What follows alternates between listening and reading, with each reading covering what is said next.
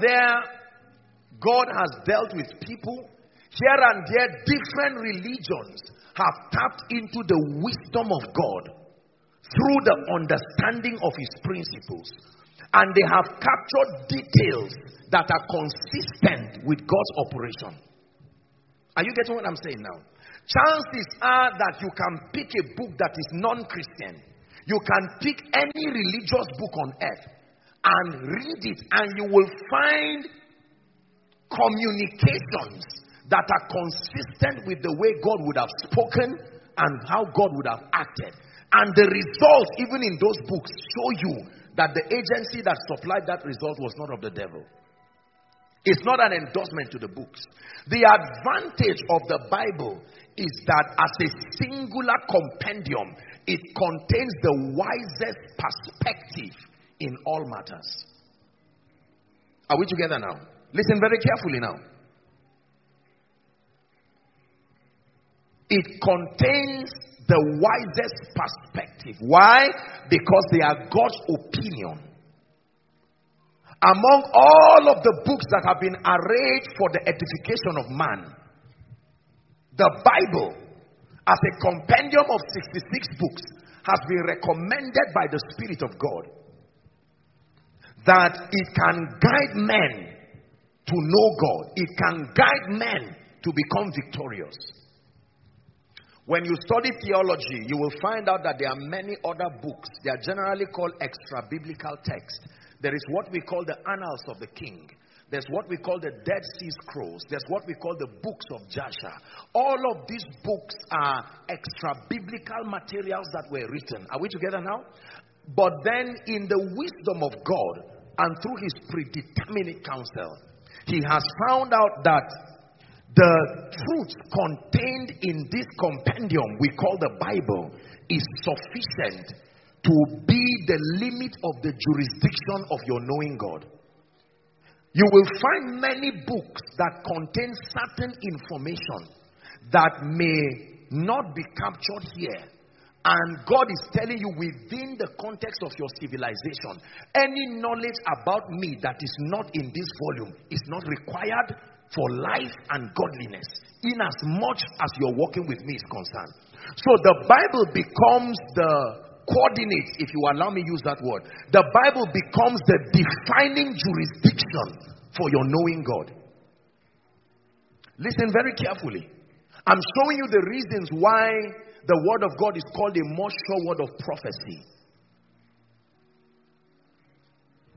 God has vetted the truth here and found out that any believer that settles with scripture as contained in this book under the influence of the Holy Spirit, there is no dimension of God required for your knowledge that the truth here in partnership with the Holy Spirit cannot bring you into.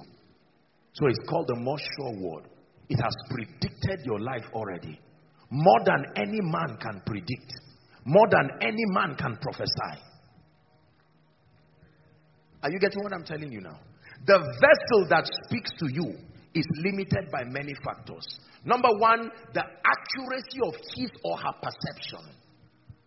Number two, the accuracy of his or her interpretation. Number three, the atmosphere that became the influence upon which he spoke.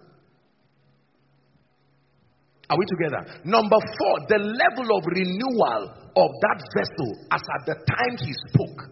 All of these are factors altogether that can interrupt the purity and the quality of the speakings. It doesn't mean the person is fake. These are the things that water down the efficacy of the prophetic. Are we together? And then the mental development of that prophet or that speaker also matters. Chances are that if naturally speaking, I'm a person that detests excellence. If God is giving me a prophetic word that relates to excellence, my, my prior fortitude for trivializing excellence will make that prophetic word not come with the gravity with which it left heaven. Because in my person, I don't find excellence to be something that is needed. If I'm someone, for instance, who does not believe finance and prosperity is useful. Are we together? If a prophetic word comes that God is going to make Sam a millionaire, remember I've trained myself to be embarrassed to even talk of millionaire because I've interpreted it as carnality. Chances are that I will just say you are going to be blessed. You see that now? So the efficacy of that prophetic word was corrupted by the limitation of my spiritual understanding. But then let's assume, for instance, that I was accurate enough to deliver it, to be fair enough, and you now receive it. Now remember, I'm not fake. Remember, I'm anointed. Remember, you too, you are not fake. You see that now? Yes. The giver and the believer have to be real for it to work. So we agree that two of us are not fake. Are we together? And now you receive that word. And then it never comes to pass. And you go back to God and say, Lord, what happened? I got a prophetic word by a man of God. And according to the word, he said, by June, I will have a car. Remember, he called my name, it was accurate. He called the name of my wife, it was accurate. Every other detail was accurate, so it supported my believing him. Yet it did not happen. I even fell down, you can add it, and it didn't happen. He prophesied to me that as I return back, my ministry will expand. He described in detail my ministry, called the name, called everything. I went back, and after five years, were worse than even before I came for that consultation. What is the reason? Why do prophecies fail? Hmm.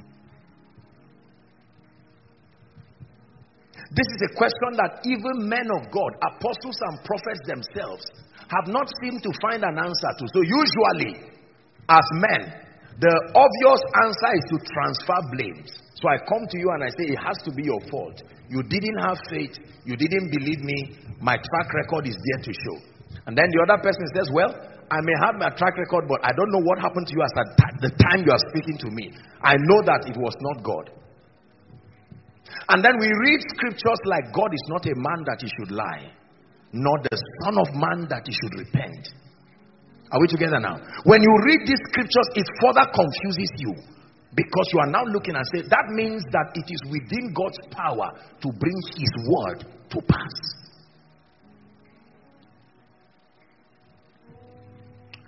The reason why many people are confused over spiritual things is because we don't read our Bibles. We listen to people, but we don't study scripture. We do morning devotions, we listen to messages online, profitable and wonderful. But we don't stay with scripture for the purpose of building understanding, building conviction. So most of our convictions are outsourced and borrowed. Our convictions are hardly intrinsic, something that came as a result of a revelation given by God. Most of our convictions are outsourced. We borrow the confidence of someone we respect. Just because the person said, This is it, we say, This is it too. Why do prophecies fail? Hallelujah. Are we blessed? So many people have relaxed and crossed their legs